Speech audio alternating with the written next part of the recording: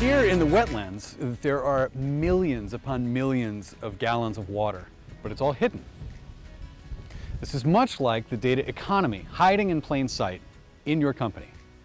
Data flows in from all over, from applications, sensors, and devices.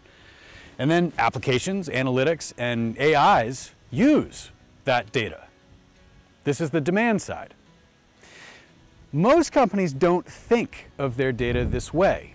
They think of it in terms of storage and processing, not in terms of supply and demand. Well, why does that matter? The reason it matters is because when your data economy is hiding, it is far less productive than it otherwise would be. At Oracle, we focus on three areas to help you grow your data economy. Data liquidity, data productivity, and data security. Data liquidity is about repurposing data. To make it easier to get data from its point of origin to its many points of use, you need a unified data tier that absorbs and delivers data of any size and shape across public cloud, local cloud, and on-premises environments.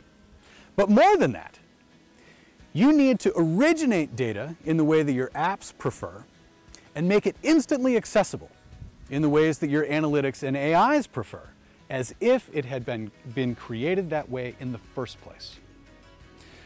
Autonomous data management that tunes, secures, and repairs itself across a wide variety of storage and access methods delivers this data liquidity.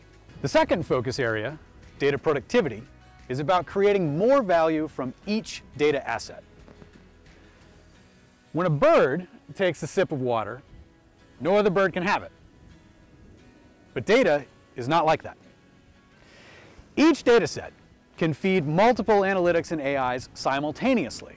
And we have built out dozens of small AIs across our enterprise applications so you can use a single data set in more actions and more decisions across business processes more easily.